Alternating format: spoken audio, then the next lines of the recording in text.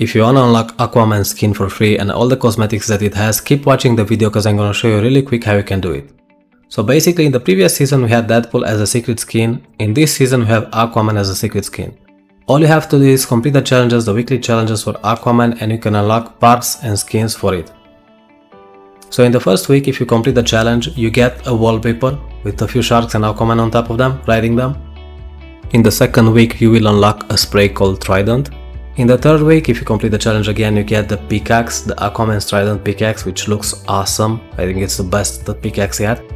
In the fourth week you get the back bling, the Supreme Shell back bling for Aquaman.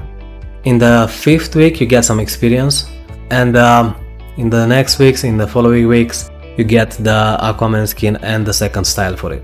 But that's basically that's how you unlock the Trident, the back bling and the Aquaman skin. That's all you have to do, complete the challenges for Aquaman and uh, it's yours for free. So yeah, that's about it. Thank you for watching the video. If you did, go ahead and leave a like to the video. Thank you for watching and see you in the next one. Bye everyone.